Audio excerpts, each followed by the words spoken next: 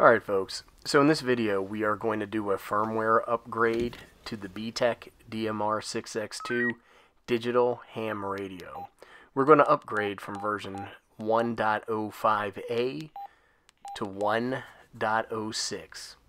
And here you can see how you can check your firmware version. And as you can see we are set on 1.05. Whenever you program your radio or update the firmware, you want to make sure that you're using the factory supplied programming cable. In this case, it's the one directly from BTECH. It does not have any chips inside of it. It's just a pass-through cable.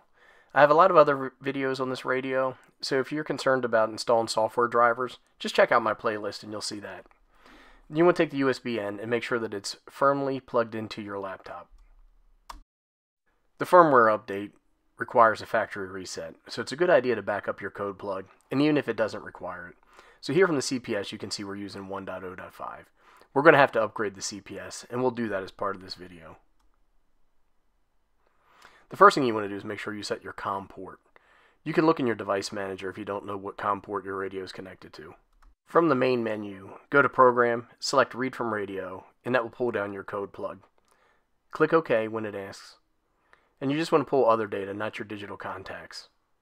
Make sure to click File Save to save your code plug to a safe directory. Next, you want to go to the BTECH website. Click on Support and then go down to Software. And here you can download the firmware update and the CPS. You want to select the DMR option, and you're going to be presented with a series of upgrade files. We're just going to go ahead and scroll down, and we're going to pick the one for 106. This is going to pull a zip file down to my downloads directory. From my downloads directory, I want to right click on the zip file and pick extract. And that's going to extract a folder to my downloads directory. Once that's done, I'm going to open the folder. I'm going to want to take a few moments to go ahead and read any README or README first files. That way I can understand what the upgrade procedure looks like and understand the instructions. So here's a README first file. And as I go through that, it will have the instructions required. In order to update your firmware, your radio needs to be in DFU mode. That's Device Firmware Update Mode. They really stress this in a README file, and that's why it's important to take a look at these. We're going to go ahead and go through the steps right now, so that way you'll know how to do it. You're going to want to push the orange alarm button at the top of the radio and the PF1 button directly below your PTT button at the same time while turning the radio on. The radio will blink a red light, letting you know that the radio is in DFU mode. Once you complete the firmware update, you're going to need to do a factory reset and apply your code plug again. In order to do the factory reset, you want to push the PF1 button and the PTT button at the same time while turning your radio on. When this happens, it will reinitialize your radio, and you will need to add your date and time configuration back to your radio. The README first file also goes through a number of things that are addressed in the firmware update. Most notably, the radio will now hold 200,000 DMR contacts. That's a big deal. Right now the database is around 136,000, but it shows no sign of slowing down. It also addresses various bug fixes. It does not give the APRS on analog option that many people hoped for, so look for that in a future firmware update. Okay, from the folder that we extracted from the downloaded zip file or archive file in our downloads directory, we want to run the DMR6X2 setup file. We get a Windows protected your PC, and that's because this file is not digitally signed. We're going to go ahead and run it, and it's going to ask if we want to go ahead and run from an unknown publisher.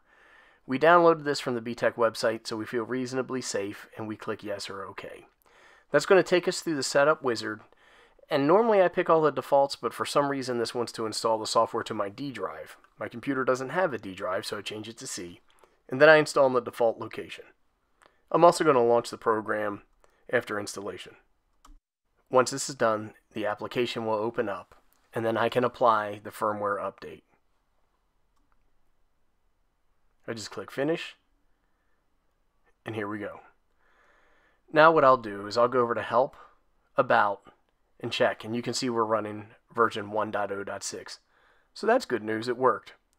Next thing I do is I want to go to Tool from the main menu, and I'm going to pick Firmware Update. Now I had seen where people reported that this wouldn't launch the firmware update file, but if you look at my menu bar at the bottom, you can see that my virus protection stopped something. And once again, it's because it's an application from an unknown publisher. I click OK, and it opens up. So the first thing I want to do is I want to browse to the SPI file in the download directory, or the directory we extracted from the archive file. And I want to go ahead and I want to pick that file, click open. The next thing I do is I want to make sure that my port is configured correctly. And what I'm going to do is select 5 like we did earlier. Yours may be installed to a different port so you can check that in Device Manager. I'm going to click Write, and then I'm going to click OK, and it's going to write the firmware to my radio. Make sure to not unplug your radio when this happens, or you could have a corrupted radio, which would take some effort to, to fix. This normally takes a few moments, so we'll go ahead and wait. When it's done, we'll get a message letting us know if the firmware update was successful or not. And here we go. We get the write complete or write success message. We go down and we click exit. And now that part's done.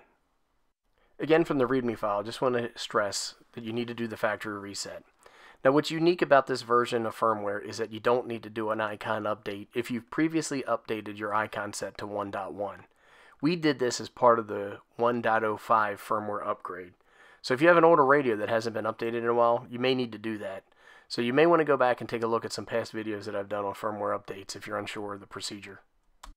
Okay, once everything's said and done, we can go back into the radio and use the procedure that we used before to go to the device info, and we can see that the firmware has been updated to 1.0.6.